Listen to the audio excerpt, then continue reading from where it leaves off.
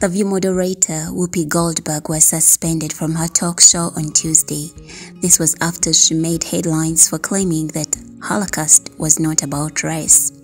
Well, also, if you're yeah. going to do this, then let's be truthful about it because the Holocaust isn't about race. No. No, it's well, not about maybe race. Ethnicity. It's, no, it's Jews about a different but, race. But it's it's not about race. It's not about well, race. What is it about? Because you, it's about man's inhumanity to man.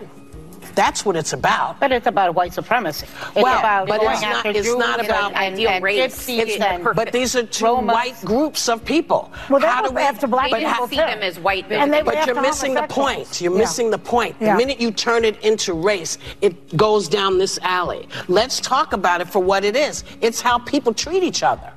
It's a problem. It doesn't matter if you're black or white, because black, white, Jews, uh, Italian, everybody eats each other. So is it, if you're uncomfortable, if you hear about Maus, should you be worried? Should, should your child say, oh my God, I, I, I wonder if that's me? No, that's not what they're going to say. They're going to say, I don't want to be like that. Well, hopefully. I well, want to be cool. Yeah, and well, yeah. Most kids, most oh. kids, they, they don't want to be cruel. No, they don't.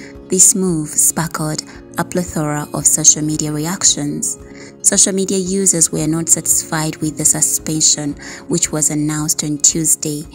In the evening, a statement from ABC News President Kim Godwin came after Goldberg apologized in a tweet and during the separate appearance on The View.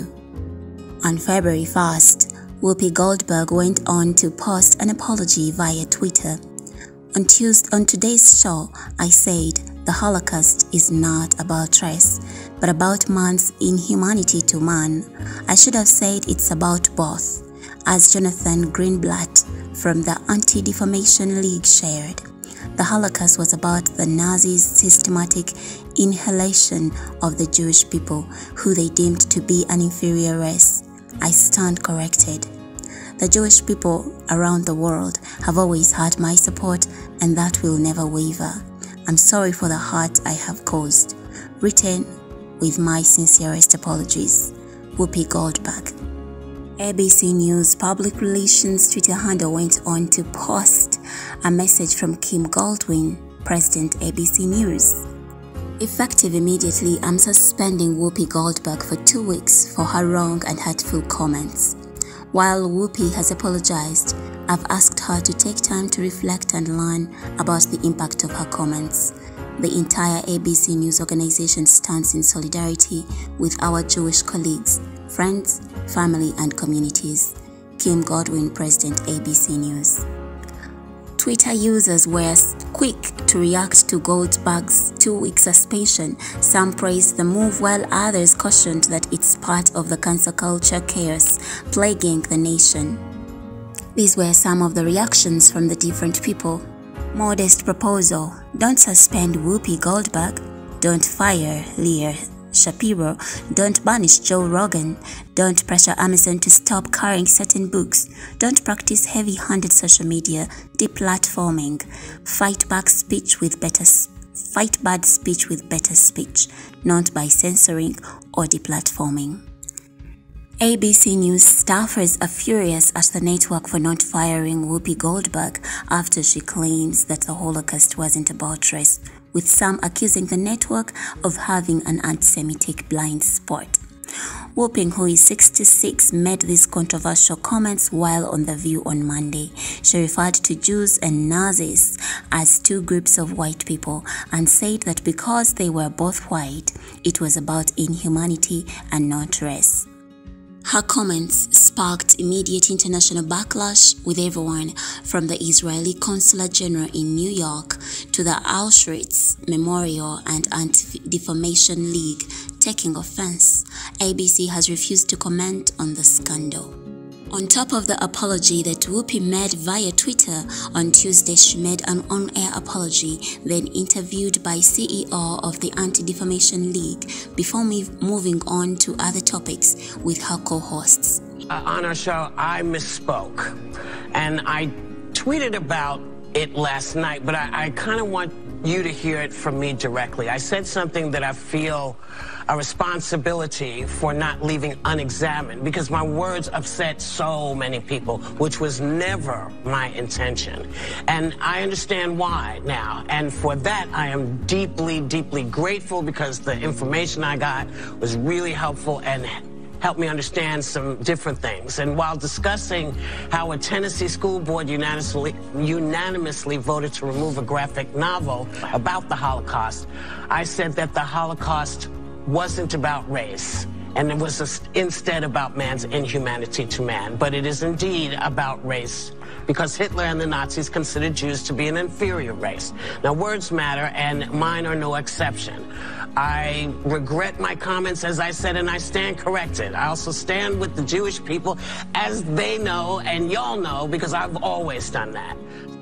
As reported by the Daily Mail, ahead of the Views show on Tuesday, a senior ABC News source told Daily Mail that staff are stunned by the network's soft touch on her remarks, especially when it was so quick to fire Roseanne Barr over racist comments towards Valerie Jarrett. These comments are absolutely abhorrent and outrageous, and it's time Disney and ABC grew a pair and fired her, the source said. Disney took swift action and fired Roseanne Barr when she posted the awful tweet about Valerie Jarrett, yet Whoopi made her vile comments on air, ABC's air and they do nothing about it? Where is the leadership from within Disney? Disney content chairman Peter Rice needs to step up and do his job and fire Whoopi. How is this appropriate at all? What message do we send as a company? Why is there one rule for Whoopi Goldberg who gets a pass on everything and another rule for everyone else? said the source. This is a blind spot on the view when it comes to anti Semitism. It's never a big enough hate crime for them went on to add that the comment on Monday was only the latest in a string of inflammatory claims made by Whoopi, who previously defended Bill Cosby on the show.